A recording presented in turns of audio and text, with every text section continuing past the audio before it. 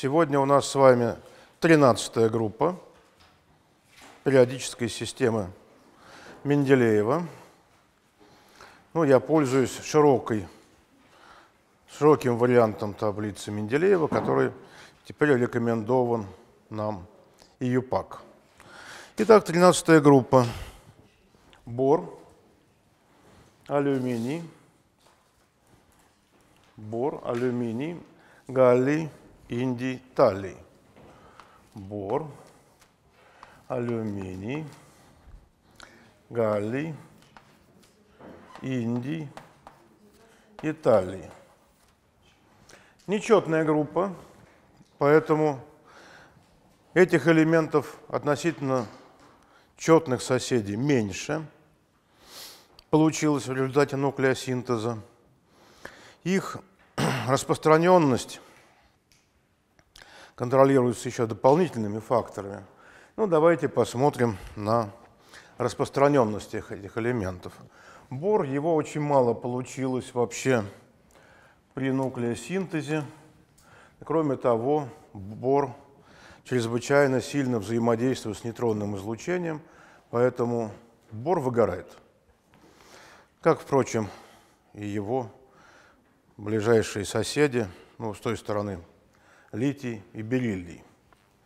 У бора также минимум распространенности, хотя он такой легкий элемент. И в сиайхондритах мы увидим 0,087 ppm бора. В примитивной мантии Земли, ПМ, бор, хотя бор является летучим компонентом, тем не менее он несколько сконцентрировался примерно в той же пропорции, что и все остальные компоненты, которые не вошли в ядро. 0,3 ppm бора. И верхняя часть континентальной коры – а здесь бор сконцентрирован весьма сильно относительно мантии, 17 грамм на тонну, Кларк бора в земной коре. Это связано с его летучестью. Бор относится к избыточно летучим компонентам, так же как галогены. Он вынесся из мантии, в основном не в результате магматического процесса, а в результате дегазации мантии. Ну, алюминий, его гораздо больше, чем бора. И, собственно говоря, в хондритах 0,87%, ну, почти 1% алюминия. И, конечно, вы прекрасно понимаете, что в мантии Земли он весь и перешел из метеоритного вещества.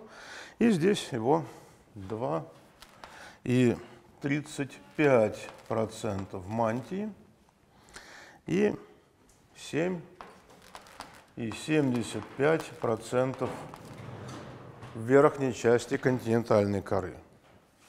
Глинозем обогащает континентальную кору. Недаром она называется сиалическая. Да? Кремний, алюминий – главные компоненты. Сиалической коры. Алюминий не летучий, поэтому при образовании Земли никуда не делся. Вот он, видите, в мантии, и он обогащает земную кору, почему мы еще поговорим. Ну, следующий – галлий. Его в углистых андритах 10, примитивной мантии 4 и в земной коре 14 ppm. Галлий – сидорофильный элемент. В метеоритах он, в отличие от алюминия и бора, которые литофильные, это литофильные, фильные, они находятся в виде кислородных соединений. Галлий – сидорофильный – мы найдем в метеоритах его в составе железной металлической фазы. Индий и талий халикофильные. Они испытывают высокое сродство к сере. Так что, видите, свойства, геохимические свойства элементов в этом ряду меняются. И вы видите, что произошло с галлием. Почему его в мантии меньше, чем в метеоритах? Потому что он ушел в ядро. Как и другие сидрофильные элементы, он ушел в ядро, и поэтому его здесь вдвое меньше, чем в метеоритах. Хотя должно было, по идее, больше, если бы не ушло. Но, тем не менее, галлий обогащает земную кору, накапливаясь в магматических расплавах относительно алюминия. Ну, индий – очень редкий элемент. Его в метеоритах 0,08, в мантии 0,11. И континентальную кору не обогащает 0,061. Примерно равномерное распределение. Индия, Таллия 0,14, 0,0035 и в земной коре 0,75. Мантия потеряла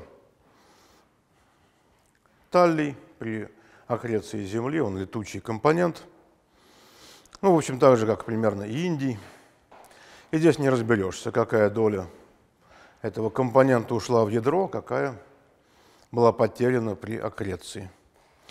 Но вы видите, что эти сидорофильные, ой, эти гликофильные элементы, они немножко по-разному обогащают земную кору. Ну, собственно говоря, группа очень такая характерная. Вот в ней меняются таким образом свойства, что э, типичные литофильные элементы сменяются сидорофильными и халькофильными. Ну и мы с вами будем сейчас рассматривать эти элементы по одному. Ну, начнем мы с геохимии бора. Геохимия бора. Бор – это литофильный, как я уже говорил, элемент. И главное его соединение – это бор H3, э, бор О3, это ортоборная кислота и продукты ее поликонденсации, разнообразные бараты. Вот по своим способностям образовывать полимеры бор и борная кислота, наверное, превосходят даже такого чемпиона, как кремний. Вот силикаты класс обширный, где множество разнообразных кристаллографических, ну, стру, кристаллических структур, образованных поликонденсатами кремниевой кислоты. А вот бор – тоже обладает этими свойствами. Но кроме того, у него есть еще и две координации. Это H3 БРО3 в координации 3, координационные числа, 3 и координационное число 4. 3 треугольник, 4 тетраэдр. И отсюда возникает возможность образовывать не только поликонденсаты из одних тетраэдров, а из смеси треугольников тетраэдров. И получается огромная возможность для различных структур. В природе, конечно же, все эти структуры не реализуются. Понимаете почему? Потому что бора слишком мало в природе. И далеко не во всех обстановках он вообще проявляет себя геохимически. Мало бора. Вот если бы его было как кремния, то, конечно, минералогия у него тоже была бы очень богатая. А так, бараты – это обычные синтетические кристаллы, которые очень любят выращивать кристаллографы, потому что там действительно богатство, богатство структур. Обязательно вырастет новая структура. Правильно? Совершенно верно. Вот. Но в природе это не реализуется. Хотя известно примерно 240 минералов у бора, для такого малораспространенного элемента. Это много. И там, конечно, и 3, и 4, и 3-4 бараты представлены в большом количестве. Основной чертой геохимии бора является его летучесть. Он, ну, борная кислота весьма подвижна в водяных парах. И на многих вулканах прям-таки выпадает из газовой фазы в виде борной кислоты. Борная кислота взаимодействия с породами получается бура, то есть тетраборат натрия, ну и все прочие бараты.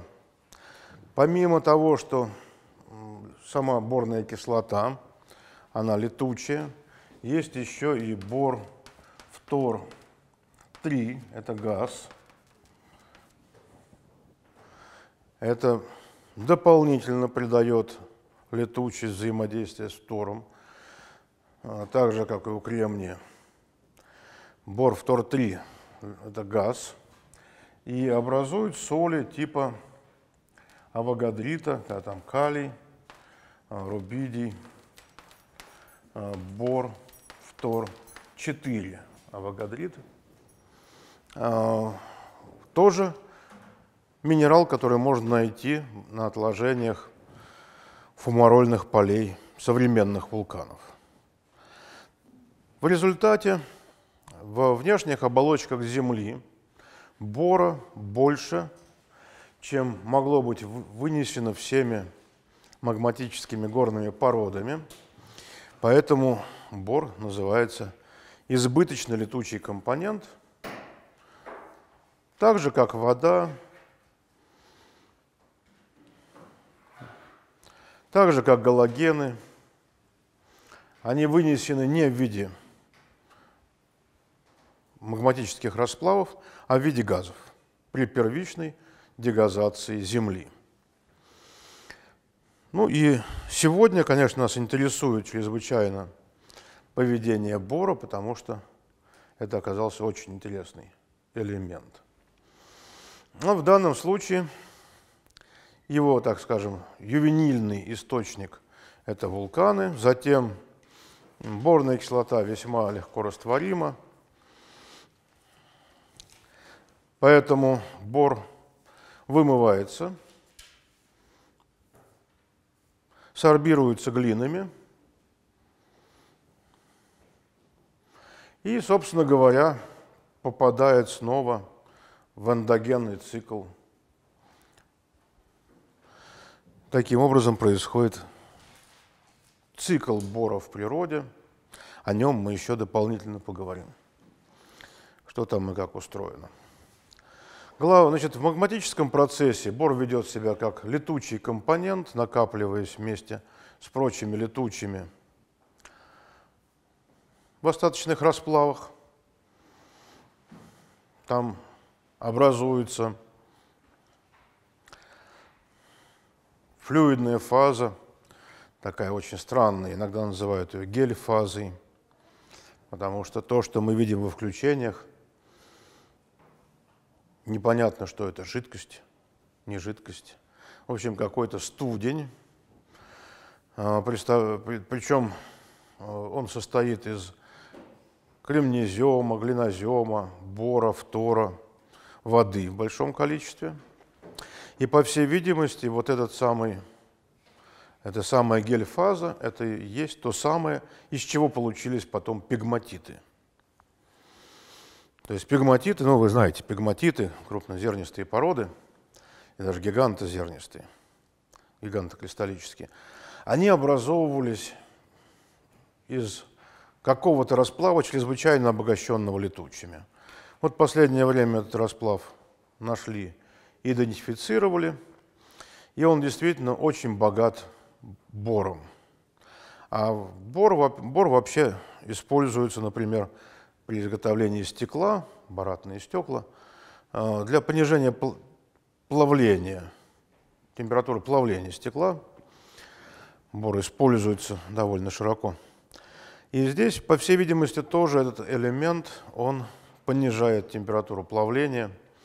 И это очень интересная фаза, ее следует изучать. Но трудно. Она очень необычная оказалась. Э, это гель-фаза. Ну, вот по всей, значит, причем концентрация силиката там получается процентов 30. Э, воды тоже примерно процентов 30. Такая очень забавная фаза. Вот. И бор здесь играет очень важную роль. Затем гидротермальный процесс. В гидротермальном процессе у бора есть главный минерал. Любимый минерал Бакшеева. Турмалин. Турмалин, да. Ну, действительно, турмалин чрезвычайно устойчивый во многих обстановках. У него большой изоморфизм, что позволяет использовать его индикаторные особенности. Ну, а просто красивый драгоценный камень, в конце концов, да? Какой-нибудь эльбаид. Вот, турмалин. Устойчивость турмалина в гидротермальном процессе довольно большая. Ну и, в общем, практически с этим и связано э, его поведение, хотя есть скарны. В скарнах там бараты, даталит, донбурит. Есть железистые, ну вот эти странные а, месторождения железной руды в типа Коршуновского месторождения в Сибири, а, где железо переносилось в виде очень высоко, ну даже, можно сказать, так, раствор расплавных э, фаз, получившихся при внедрении базальта в соли. И бор, конечно, там тоже присутствует, там людвигит, барат. Собственно говоря, дальнейшая история бора связана с его накоплением уже в водоемах, а, где он сорбируется глинами, и десорбция с глин – приводит к образованию рассолов и вообще вод с высокими содержаниями бора.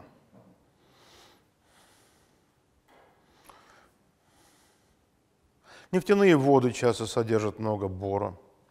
Это десорбция с глин.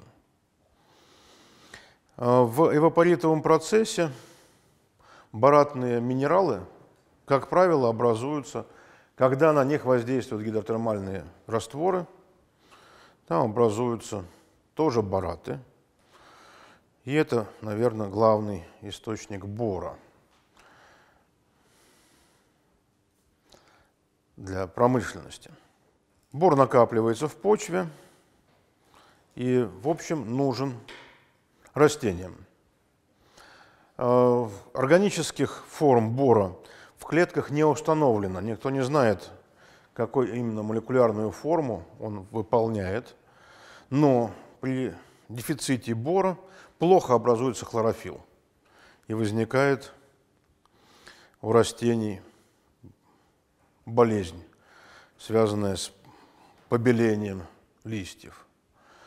Вот механизмы этого не вполне установлены, но это такой факт, поэтому бор входит в состав микроудобрений, тех самых минералов, которые, о которых говорят в рекламе. Ну хорошо, значит, мы с вами, чтобы посмотреть на геохимический цикл бора, должны познакомиться с его изотопами. У бора два изотопа соотношением 1 к 4. Это 11 и 10 бор. Значит, природные смеси 10 бора 19 и 9 процентов, 11 бора 80 и 1 процент. Ну и стандарт – это борная кислота, выбранная бюро СРМ, стандарт материал 951. И здесь соотношение сдопов бора составляет 0,224,73. Это стандарт СРМ, используется для того, чтобы изображать составы всех природных боров. боров. Ну, всех, всех природных составов, как изображать, относительно этого самого стандарта СРМ. Стандарт СРМ получился не очень, э, так скажем, ну вот такой, такой получился. Но тем не менее главный процесс, который происходит и приводит к фракционированию изотопов боронов в природе, это процесс смены координаций. Меняется координация и меняется изотопный состав. А меняется координация за счет того, что борная кислота на самом деле льюисовская кислота, она диссоциирует не как отщепление протона, а значит, водные растворы борной кислоты очень слабые, они диссоциируют таким образом. Образуется бор OH в четверо с минусом, плюс H с плюсом. И в этой связи получилось очень большой сдвиг. Оказалось, что это самая борная кислота, которая э, сорбируется, она чрезвычайно обогащена десятым изотопом бора. А вот недиссоциированная форма обогащена одиннадцатым. Это один из таких очень сильных фракционирования. Даже это фракционирование было измерено без всякого масс-спектрометра, просто потому, что константы, константы диссоциации борной кислоты, сделаны из одного изотопа и из другого, существенно различаются. И это можно померить. И, собственно говоря, это слабая кислота, но в морской воде, где pH 8,5, это гидрокарбонатный буфер, pH 8,5, и присутствует заметная доля вот этого диссоциированного комплекса. Примерно 15% его, 10-15% этой формы. И эта форма, в отличие от незаряженной борной кислоты, она сорбируется. Она сорбируется алюмосиликатами. Причем эта сорбция, э, она такая очень специфическая – ну, это связано с тем, что хотя бор редко входит, редко способен замещать кремний или там, алюминий в алюмосиликатах, но тем не менее, когда речь заходит о глинах, они очень сильно а, сорбируют бор и необратимо. Но ну, механизм этого не очень понятен, но в целом, значит, вот таким образом у нас бор сорбируется. К чему это приводит? К тому, что легкий бор оказывается вовлечен в морские осадки, а тяжелый накапливается в остаточной морской воде. И мы с вами можем нарисовать цикл бора на Земле который связан с тектоническим циклом. И в этом цикле все видно. Вот здесь у нас срединно-океанический хребет, э, океаническая литосфера, зона субдукции, зона субдукции, слэп пошел. Здесь у нас островная дуга или активная континентальная окраина. Ну, представляете себе картинку, да? Здесь у нас океан. Океан, ну и задуговой бассейн. Здесь вулкан. Активная континентальная окраина. Ну, здесь морские осадки и аккреционная призма, где эти осадки накопились. Морская вода. Морская вода. В ней содержание 4,5 ppm бора, а изотопный состав плюс 35,5 промилле, обогащенный 11 изотопом. Вот он. Соответственно, в осадках, вот в этих самых осадках, мы увидим 80, 160 ppm бора. А изотопный состав этих осадков минус 7, плюс 7. Вот в этих интервалах лежат значения для пелагических осадков. Но откуда же берется первичный бор? Если мы посмотрим из мантии, вот он поступает в срединно-океанические хребты, то здесь бора меньше полутора ppm и дельта 11b для мантии оценивается как минус 4 промилле. Мантия минус 4 промилле. Ну и самое интересное начинается там, где континент... Ой, океаническая кора погружается под континентальную. Здесь начинается дегидратация под воздействием высоких температур. Флюиды, выделяющиеся сюда, вверх, генерируют магму. И вот здесь бор, заключенный в этих самых осадках, оказывается высвобожден, и флюиды вот эти дают э, содержание бора в вулканитах. От 60 ppm, ppm на фронте, ближе всего к желобу. А по мере удаления от желоба содержание меняется и составляет 3 ppm. Изотопный состав меняется.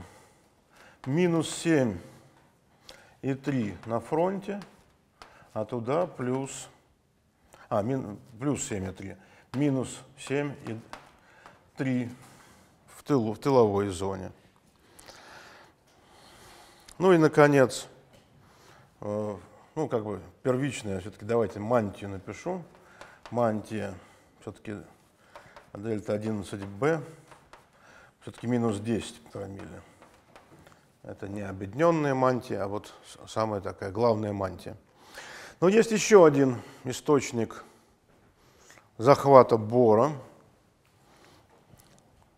из морской воды. Это серпентинизация. Когда происходит серпентинизация океанической коры, то образуется серпентин – и измененная океаническая кора тоже довольно сильно захватывает бор. Его мог, может быть концентрации в измененных базальтах доходить до 100 ppm. Но изотопный состав вот такого бора будет соответствовать морской воде, то есть он будет тяжелый. Поэтому здесь возникает очень интересная картина. Ну и, собственно говоря, глины, попавшие в зону субдукции – осадки и отбор. Вот здесь начинается дегидратация и разрушение разных минералов. И разные формы бора выходят при разных температурах. К чему это приводит? Это приводит к тому, что для островной дуги, если мы здесь нарисуем дельта 11b, а здесь нарисуем глубину сейсмофокальной зоны. Помните, что такое сейсмофокальные зоны? Или зона Беньёфа? Ну вот она. Это то самое место, где происходят основные землетрясения в зоне, в зоне субдукции. Это зона Беньёфа. Вот, собственно говоря, глубина этой зоны вот нарисована здесь этой линией. Поэтому здесь будет глубина зоны Беньёфа.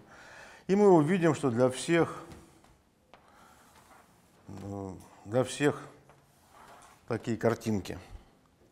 В зависимости от скорости погружения, ну здесь примерно 0, здесь плюс, плюс 7, здесь минус 7, и здесь будет, скажем, Курильская гряда, Анды,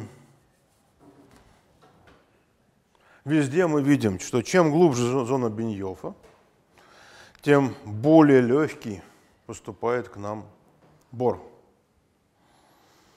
И это очень важно. Это показывает процессы магмогенерации вот здесь, ну не магма, флюидогенерации в погружающейся, по погружающейся плите. И там турмалин разлагается получается флюид, содержащий много бора. И по бору вы легко отличите по содержанию бора те базальты, которые образовались в зоне субдукции, от тех базальтов, которые образуются в зоне рифта. Просто по содержанию бора. Здесь существенно более высокие концентрации, а видите, для а, Морбов, это на самом деле морб у нас, базальтов срединно-океанического хребта. Содержание бора ничтожный, и изотопный состав его напоминает нам о мантии. Поэтому вот этот цикл очень важный, является очень важным доказательством тектонических циклов. И таким образом бор работает. Ну вот, на этом пробор можно, про него много, много можно ничего рассказать. Но давайте закончим пробор. И у нас алюминий. Геохимия алюминия.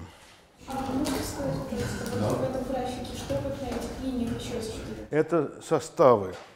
Ну, то есть линии – это точки, которые ложатся на эту линию. Отдельные анализы для разных базальтов – Э, из вот этой зоны. Ну, мы же вот здесь находимся, да? Здесь у нас мельче зона Беньёфа, здесь глубже. Здесь отобрали базальты. И видим, что есть некоторая зональность по изотопному составу бора. Здесь H. Курильские это значит, это Курилы, Анды. Ну, я к примеру говорю, не, не показываю вам э, реальную картину этого в виде презентации. Вот, ну, нарисовал несколько примеров э, зон субдукции. А почему такие, такая разница получается? Потому что в зависимости от скорости субдукции по-разному нагревается вещество субдуцирующее, и у него получается разная термальная история, поэтому э, формы, ну, минералы, содержащие бор, разлагаются немножко по-разному. Ну, хорошо. Биохимия алюминия. Ну, про алюминий вот не могу рассказать ничего, как про бор красивого изотопного, потому что у алюминия всего лишь один изотоп стабильный, 27-й. Ну, может быть, вы вспомните про вымерший космогенный 26-й алюминий, который распался и превратился в 26-й магний. И даже можете вспомнить, где мы найдем эту самую аномалию 26-го магния. Помните? белые включения, конечно. Белые включения, как самые ранние конденсаты в протопланетного облака, которые сконденсировались при самой большой температуре, ну, до начала конденсации, конечно. Алюминий, оказывается, очень трудно летучий элемент. Недаром из глинозема делают самые э, термостойкие футировки для печек и так далее. Но, тем не менее, даже такой элемент летуч. Есть загадка, связанная с самородным алюминием. До сих пор не очень ясно, есть ли самородный алюминий в природе, потому что иногда находится самородный алюминий. Как он может образоваться? Он может образоваться за счет того, что в газовой фазе алюминий переносится не в виде молекул алюминия 2О3 при испарении корунда, а в виде корунд алюминий 2О3 при испарении образует алюминий О, такую газовую молекулу, плюс 1 вторая О2. Вот так испаряется корунд. Образуется такая странная молекула алюминий О. Да-да. Оксид двухвалентного алюминия, хотя для этих газовых молекул валентности не имеет большого значения. А вот если мы обратный процесс поведем, алюминий О возьмем 3 алюминий О, то получается алюминий 2О3 плюс алюминий. Это газ и это газ. То есть через газовую фазу мы можем получить самородный алюминий. При рекомбинации газовой фазы. Этот эффект известен. Ну, возможно, что в природе происходит нечто подобное. Но алюминий вообще должен вытеснять водород из воды. И вы знаете, что стойкость алюминия чем объясняется? Почему металлический алюминий вообще может существовать? Да, оксидная пленка. У него оксидная пленка, а корунд, оксид алюминия очень прочное соединение, оно пассивирует поверхность. Если мы поцарапаем алюминий и нанесем в полученную царапину какой-нибудь металл, который сделает его жидким, образует с ним сплав, например, галлий или э, ртуть, то там начнется бурное окисление алюминия, и тут же начнут расти цветы из гидроксида. Можете посмотреть где-нибудь такие опыты. Э, он будет действительно вытеснять водород из воды, но пленка не дает ему это. Вот. Ну, пометьте себе про 26-й алюминий как вымерший изотоп, да, пометили. Ну, собственно говоря, алюминий чрезвычайно важный элемент, слагающий земную кору. Почему так много алюминия в земной коре? Почему такие и плагиоклазы, полевые шпаты, вообще главные минералы нашей земной коры? Почему так? Смотрите, где образуется континентальная кора? Вот здесь. Вот она образуется вот здесь. И выплавление, плавление вот этой мантии за счет флюида приводит к тому, что фигуративная точка э, эвтектики сдвигается в область более глиноземистых составов. И у нас возникают не базальты, классические, а известково-щелочные базальты, которые быстро сменяются андезитами, они быстро эволюционируют и быстро становятся кислыми породами. И вот именно это и определяет и свойства зем, э, ну, континентальной земной коры. Континентальная земная кора соответствует в среднем вот этим вот андезитам. То есть земная кора континентальная прирастает за счет зон конвергенции – активных континентальных окраин, островных дуг и так далее, там, где происходит субдукция. То есть Континентальная кора образуется в два этапа. Сначала образуется океаническая кора, которая потом субдуцирует и образует уже вещество континентальной коры. И особенности вот этого процесса выплавления – обогащенность алюминием, окисленность железа, железо уходит в магнетит, поэтому это маложелезистые. Ну и э, большое количество летучих определяет и дальнейшую эволюцию состава земной коры. У алюминия две координации, как вы знаете. Он может быть в анионной части в виде тетраэдра, в катионной части в виде октаэдра. Ну и в свое время была мысль такая, что изменение координации алюминия является важным способом передачи энергии. Ну, поскольку в глинах и в полевых шпатах координация алюминия разная. Да? То есть полевые шпаты выветриваются. В полевых шпатах там какой алюминий? Какой? Тетраэдр, да. А в глинах, ну, тетраэдр тоже бывает там, но в основном это октаэдры. И вот получается у нас полевые шпаты на поверхности выветриваются, превращаются в глины. Глины потом снова оказываются в недрах земли. И на самом деле тем самым передается некоторое количество энергии Солнца в самую глубину Земли. Это идея Урусова, но не знаю, насколько она правильная. Но тем не менее, вот такая координация. Очень много минералов алюминия – очевидно. Самое важное для черта поведения глинозема – это то, что алюминий – элемент гидролизат. Очень плохо растворимые гидроксиды. Алюминий дает плохо растворимые гидроксиды.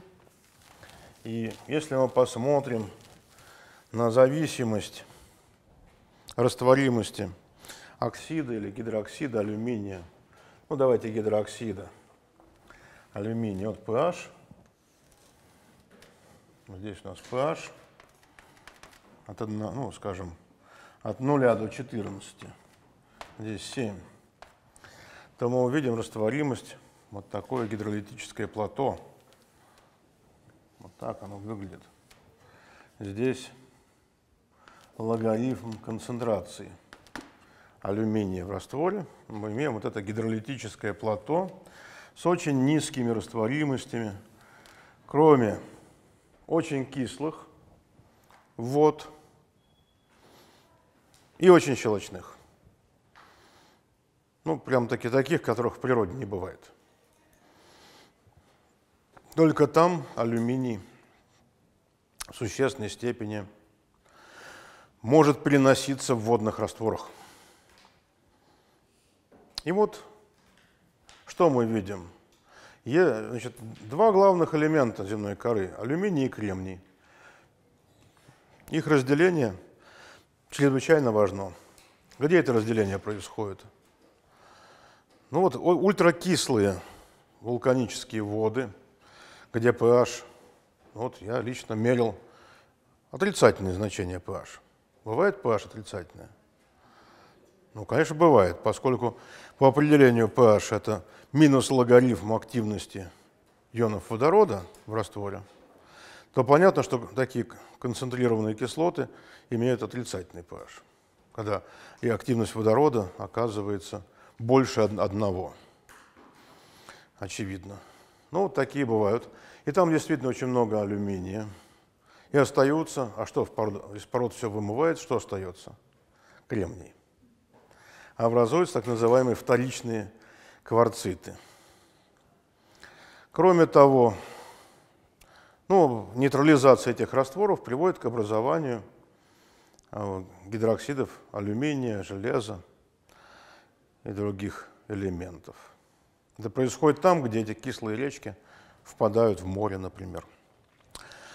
Ну, второй случай разделения алюминия и кремния – это собственно, бокситы. Это процесс выветривания.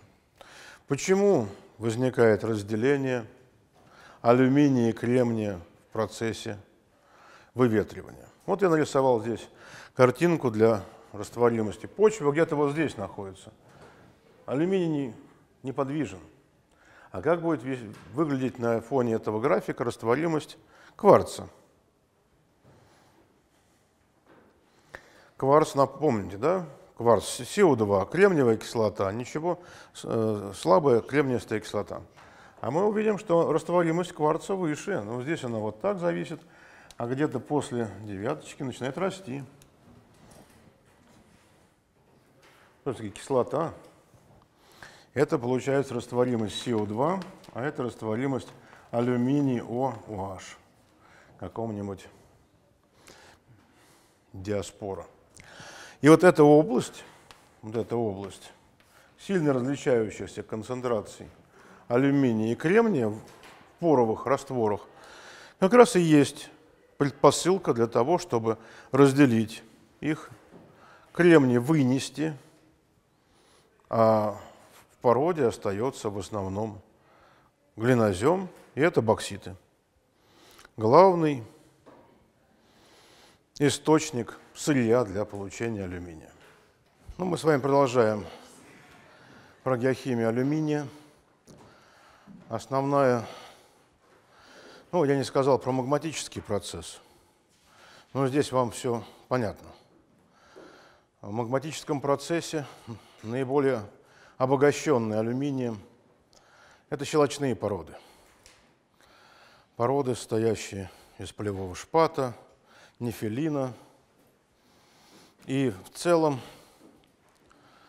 э, эти породы, нефелиновые сиениты, тоже можно использовать в качестве сырья на алюминий, но делается только в нашей стране на одном единственном месторождении. Э, большая часть алюминия добывается из бокситов. Бокситы Главное, чтобы в них было меньше, как можно меньше кремнезема. Ну а дальше алюминий растворяется в щелочных растворах, вот в этих щелочных растворах. В них не растворяется железо, которого много в бокситах, трехвалентное железо. Так производится разделение алюминия и железа, и потом из щелочных растворов алюминий осаждается в виде гидроокиси, которая потом превращается уже во фториды, в искусственный криолит, криолит, из которого добывается алюминий при помощи электролиза. В электролизе используются угольные электроды, которые горят. Ну и, может быть, вы знаете город Красноярск – там, почему там сосредоточено э, алюминиевое производство? Много дешевой электроэнергии, вырабатываемой гидроэлектростанциями. Но вот эти горящие электроды, сделанные из кокса, а кокс содержит много всякой гадкой органики, еще помимо углерода, эти коксовые электроды приводят к тому самому выбросу и черному небу над Красноярском. Вот давно, давно бы надо им было перейти на графитовые электроды, но это дороже, тогда выбросы бы сократились.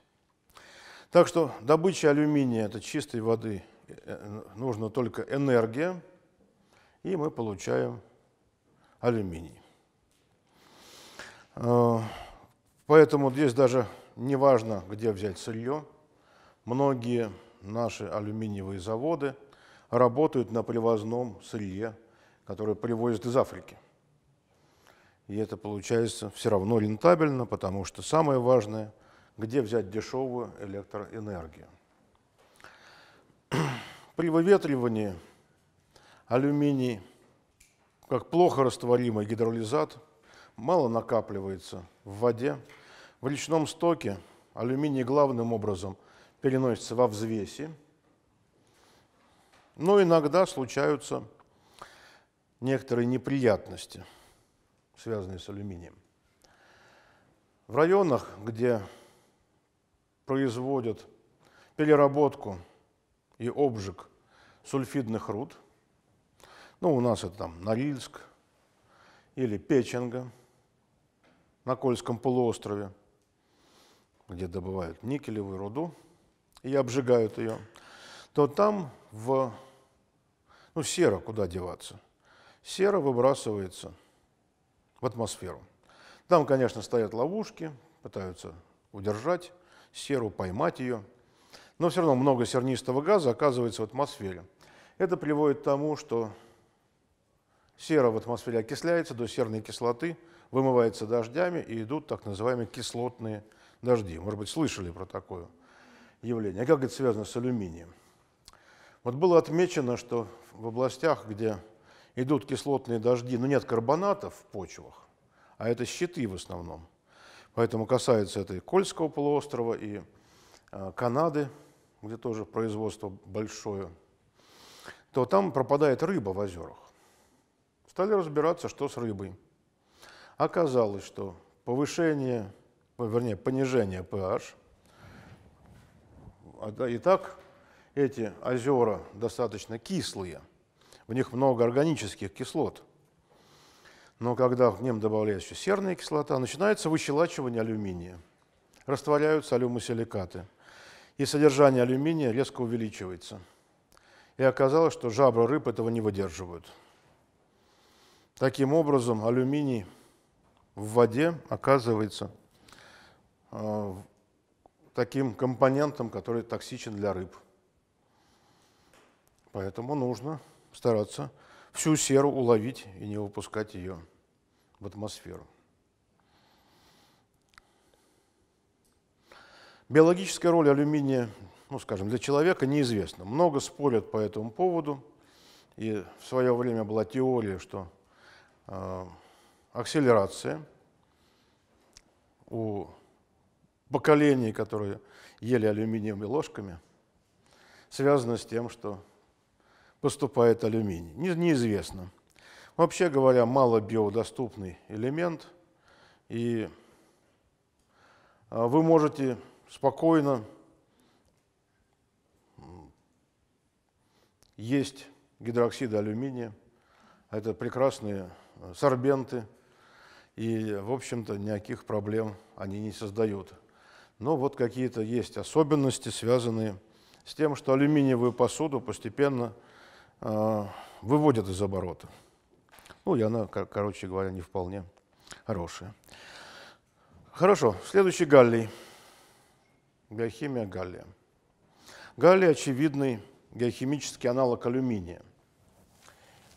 Значит, в отличие от алюминия, галлий – сидерофильный элемент.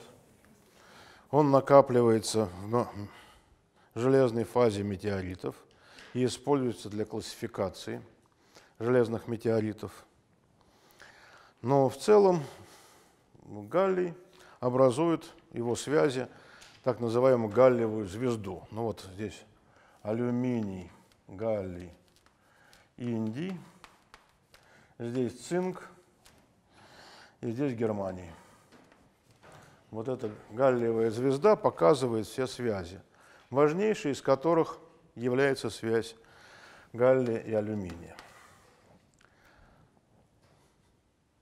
В мантии и в земной коре, где, ну, даже скажем, где нет никакой металлической фазы, галлий проявляет преимущественно литофильные свойства, являясь геохимическим аналогом алюминия. Галлия гораздо меньше, чем алюминий в тысячу раз, поэтому он изоморфно рассеивается среди алюмосиликатов. Все алюмосиликаты содержат то или иное количество галлия.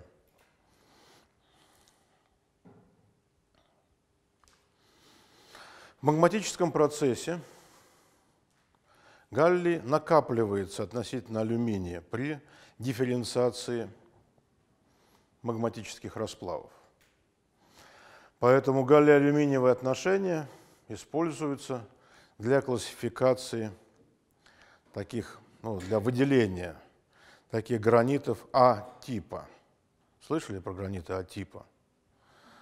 Ну, они, это, я так и не понял, откуда взялось там А, анхидроус или э, э, как, какие они, без, безводные. В общем, это сильно дифференцированные граниты, в которых галлий накопился относительно алюминия.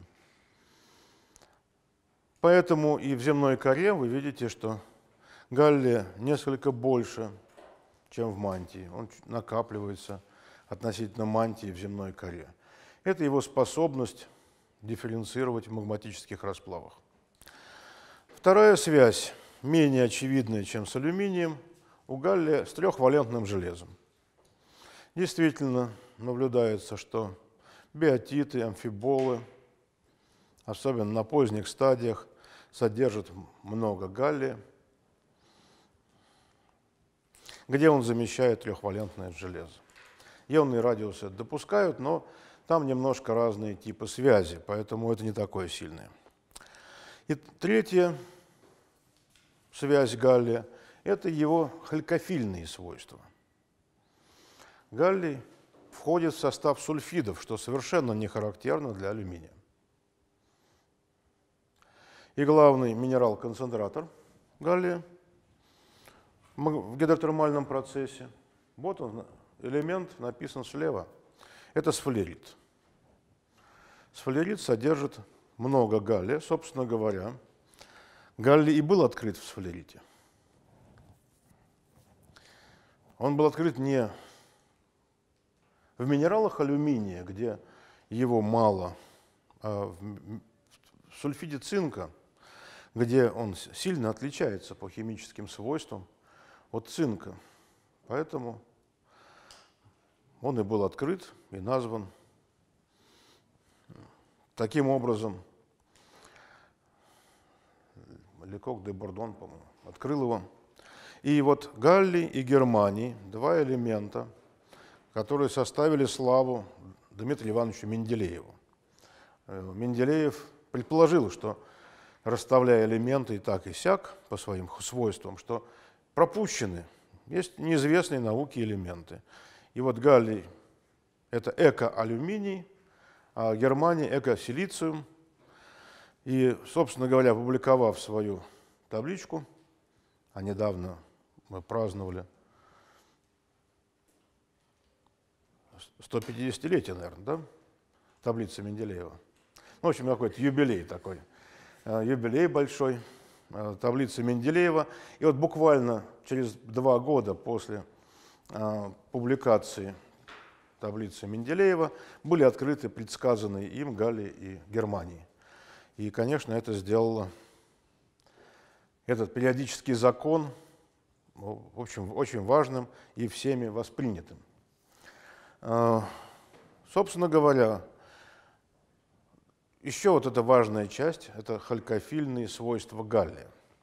На Земле есть несколько месторождений, где наблюдается уникальное аномальное обогащение галлием руд.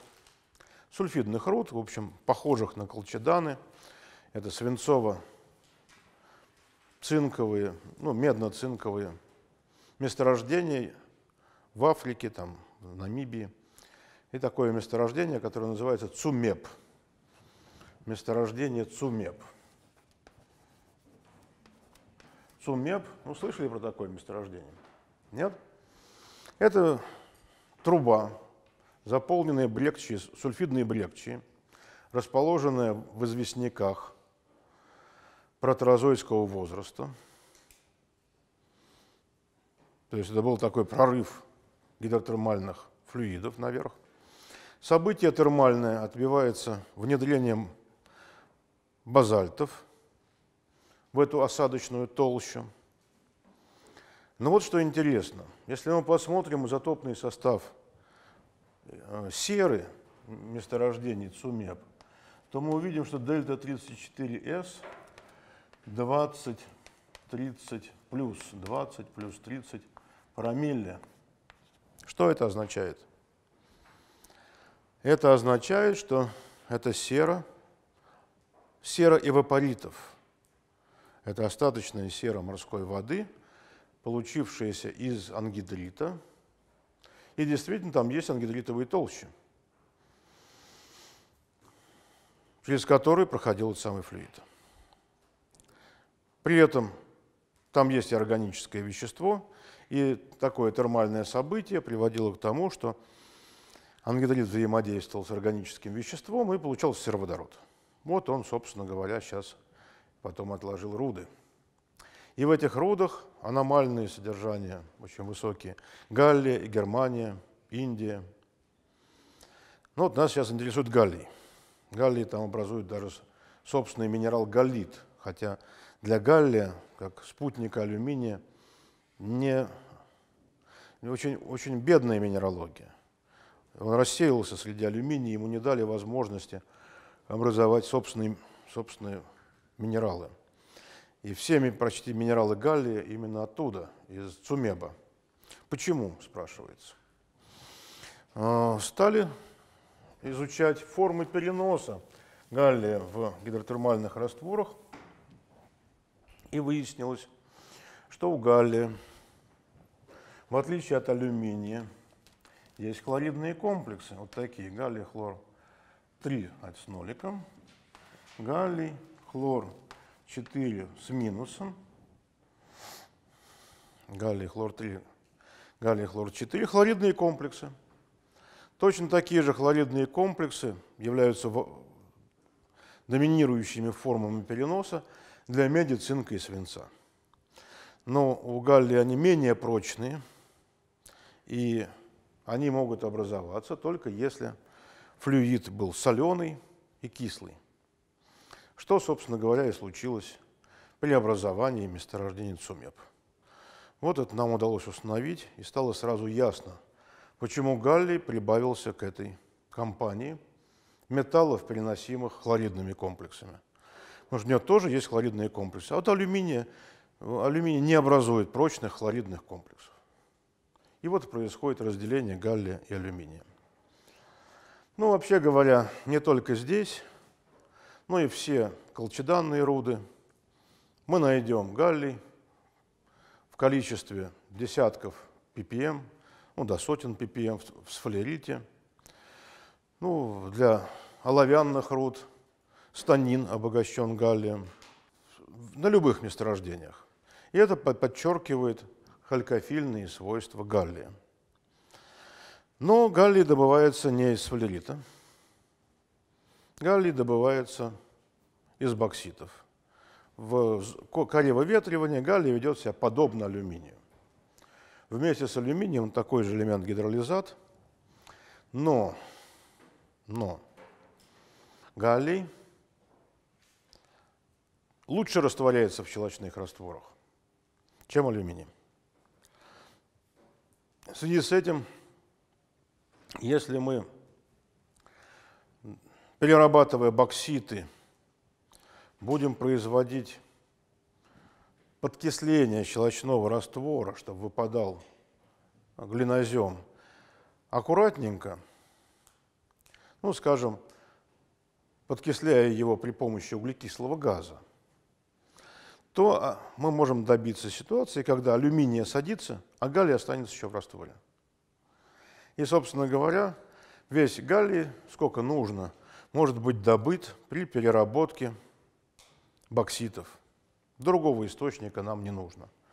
А тот галлий, который добывался в Цумебе, так и лежит там в отходах производства в виде шлаков металлургического завода. Никому он не нужен. А зачем нужен галлий? Зачем нужен галлий? Сколько-нибудь в товарном количестве. Ну, на самом деле, есть несколько назначений. Галлий очень легкоплавкий металл. У него температура плавления близка к температуре человеческого тела. Поэтому он, особенно если не очень чистый, то плавится в руках.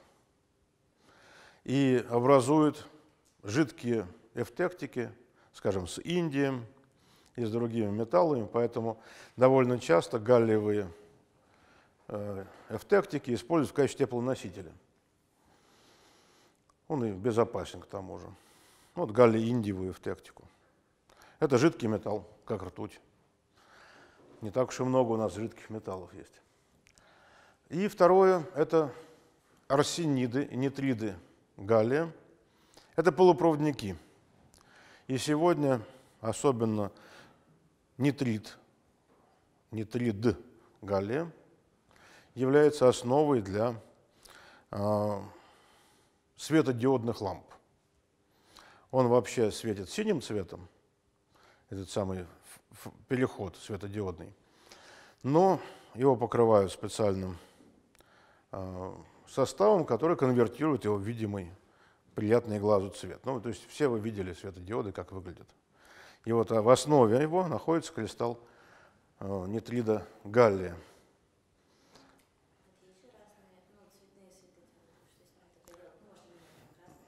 Ну, есть несколько типов светодиодов. Я сейчас говорю конкретно про синий светодиод. Такой он слегка даже в ультрафиолете светит. Это свет из разных материалов, разные переходы, дают разные излучения. А, Причем оно когерентное, поэтому это, по сути, лазер. Ну и вот э, на основе нитрида, ну еще даже до этого, арсенида галлия, был разработан мощный светодиод, ну, правда, с не очень хорошим таким синим, даже ультрафиолетовым излучением, но его покрывают люминофором, который конвертирует это излучение в более приятную нам сторону света.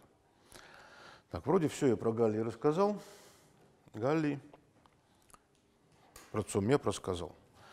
Так, тогда Индии. Индий – один из наиболее редких элементов в земной коре. Индий был открыт спектральным методом, о чем говорит его цвет, который он придает пламени, индиго. И, собственно говоря, открыт он был в сфалерите. Индий повторяет галлий, только еще в большей степени в его халькофильных свойствах.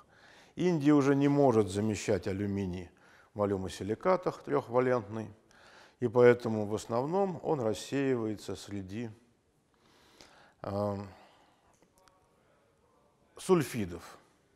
Индий входит в сульфиды – Важнейшими являются сульфиды олова, станин,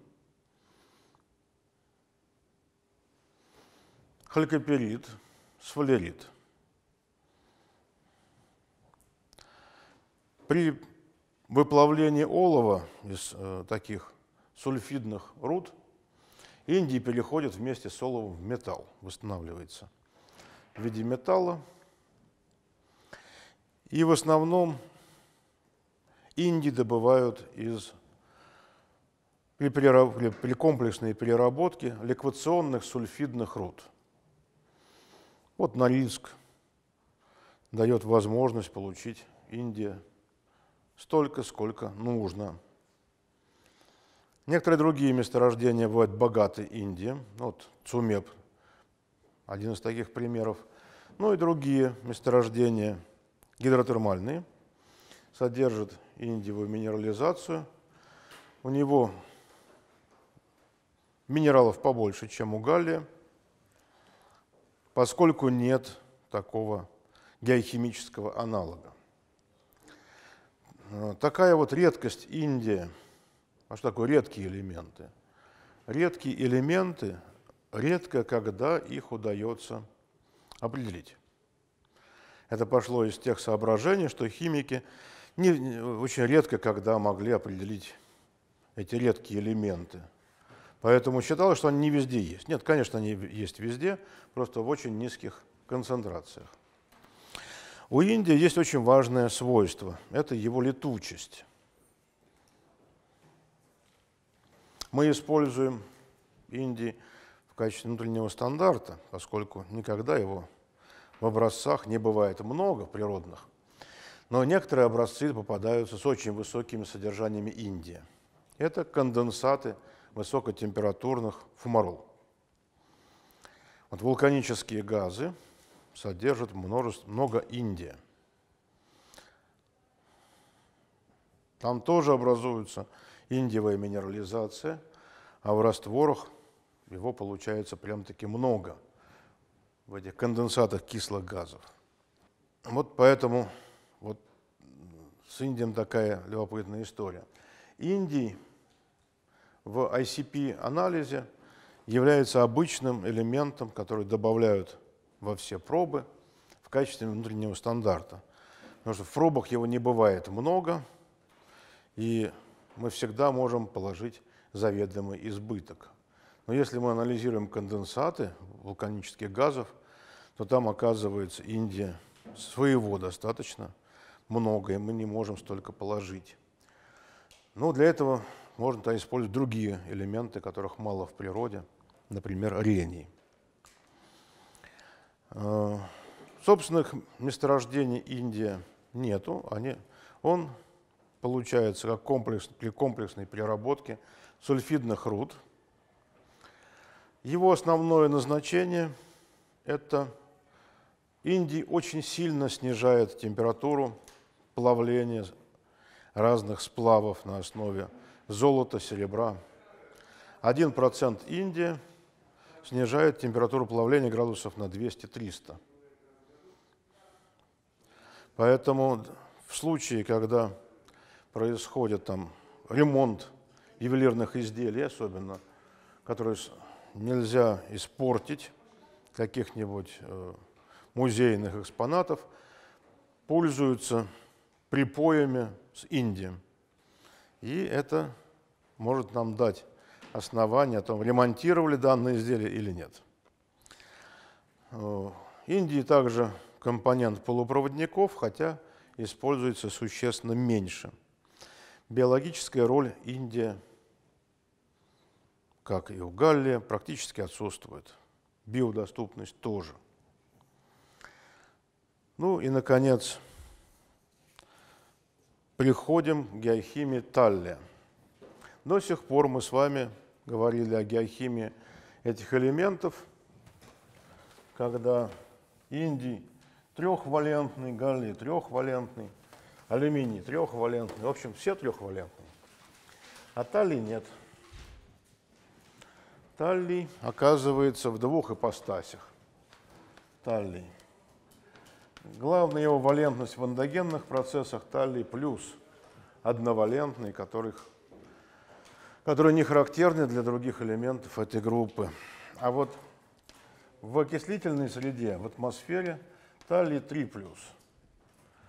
И трехвалентный талий, который окисляется таким образом, ну, до трехвалентного, э, в атмосфере, в атмосферных условиях, в окислительных, то это элемент гидролизат, гидролизат – и для него справедливо все, что я говорил про алюминий, про галлий и про индий. Малая подвижность в водных растворах, перенос в основном в виде взвеси, малая, к счастью, биодоступность. Но одновалентный галлий оказывается совсем другим элементом. И он оказывается геохимическим аналогом калия, близкий по ионному радиусу, и начинает проявлять себя вовсе не как трехвалентный талий, а как щелочной металл.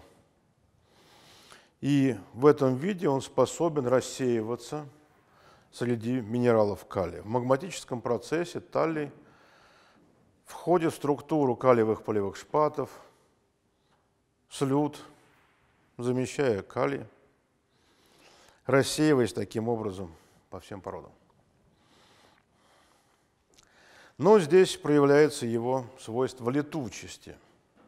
Одновалентный талий накапливается в конце магматического процесса в летуч... Ну, с фракцией летучих компонентов. Ну, впрочем, калий тоже там накапливается, верно? Тут они снова похожи. И в конденсатах вулканических газов мы видим значительные концентрации таллия и образование таллиевых сульфидов с висмутом и другими летучими компонентами. То есть это вулканические газы, связанные с вулканами. Летучесть таллия. А, в гидротермальном процессе таллий активно переносится гидротермальными растворами, и здесь проявляется его отличие от калия. Он халькофильный элемент и входит в состав сульфидов. Опять же, того же сфалерита. И, собственно, из этих самых сульфидов, из сульфидных руд, таллий может быть попутно извлечен в необходимых количествах. Одновалентные и трехвалентные талии различаются еще и по биологической активности. Талий – чудовищно токсичный элемент. Один из таких самых неприятных ядовитых элементов. А, отравления талием очень тяжелые и сопровождаются ну, практически неизлечимые.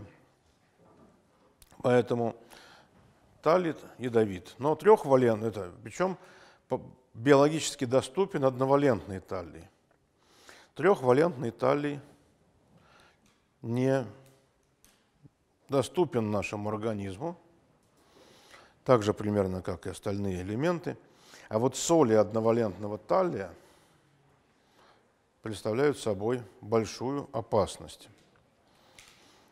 Это один из тех элементов, которые загрязняют окружающую среду в местах переработки сульфидных руд, а он же еще летучий. То есть у него есть много неприятных моментов. Правда, э, при окислительном обжиге сульфидных руд талий сначала улетучивается, но потом все-таки собирается там в золоуловителях, и оттуда он может быть извлечен. Особенно талий не нужен для промышленности, и в основном его применение связано, ну, в свое время были популярны э, электроды